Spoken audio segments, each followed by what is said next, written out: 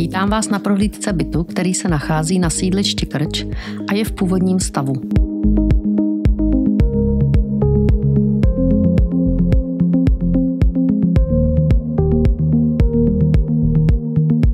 Byt je možné zrekonstruovat podle vašeho přání, ale můžete v něm s menšími úpravami i hned bydlet.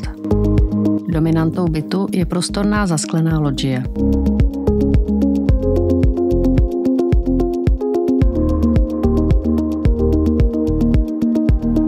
Byt má výbornou polohu, za pět minut dojdete k fakultní nemocnici v Krči. Od nemocnice jedou všechny autobusy MHD na metro Kačerov.